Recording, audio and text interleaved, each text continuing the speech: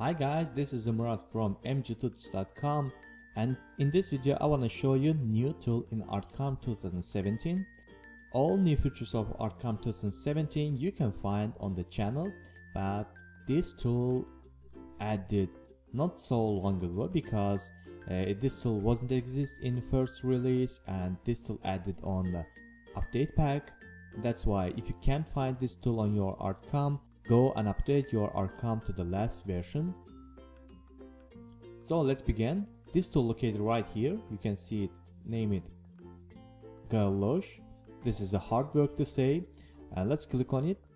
And on the right side you will see panel where we can create some vectors with this tool. This tool allows you to create different forms by entering different parameters into these panels. Well let's begin review of these uh, options here first one is a draft circle. Here we can see center X and center Y. I'm gonna set it 0 to create on the center of the sheet. And on the radius I'm gonna enter here 200 millimeter. On the screen we are getting circle dashed circle. This is a mark. This is not circle. And uh, let's see another options here. Uh, this is a rolling center well let's enter some parameter here. I'm gonna enter here 100 millimeter and as you can see ArtCam created some real circle and one circle here like a mark. This 100 millimeter is the mark circle radius. Small circle rolling around big circle.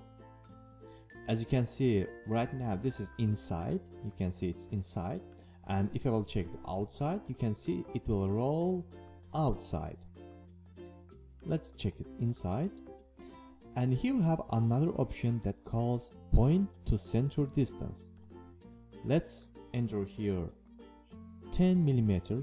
As you can see this circle on the center deformed. Right now from this point to this point 110 millimeter.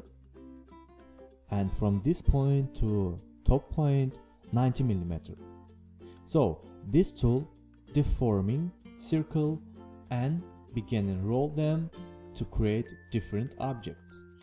You can see here we have revolutions and right now it's 1 because uh, this is our circle 1 and the limit is the 100. If I will change any of these options I will get different forms. Radius also affecting on the how many revolution we will have. If I will change radius to 250 millimeter, you will see that now we are getting two circles and they deform it and roll it like that. Let's change another options here. I'm gonna make it 50 you can see it's getting big. And this option i'm gonna make it 100 like that.